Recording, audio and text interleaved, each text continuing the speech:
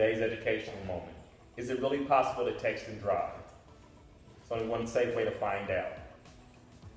Got Kelsey about 10 feet away from me with a uh, physio ball. She's going to attempt to launch in my way, and I'm going to attempt to deflect it while still sending this uh, short text message.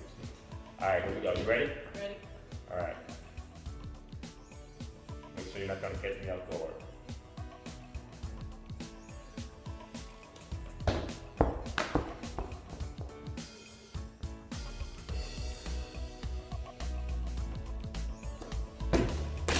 one. I will live one out of two. One out of two accidents. Fifty percent chance. I'm with that. Here we ready?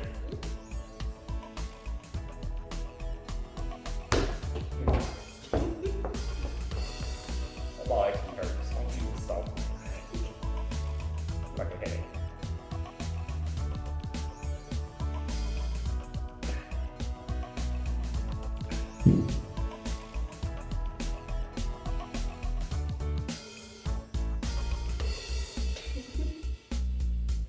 I really. How about don't throw? I think it's hurt. Don't throw. Don't throw. Anyways, hey, you cut down your chances of living. Play it safe. Don't text and drive.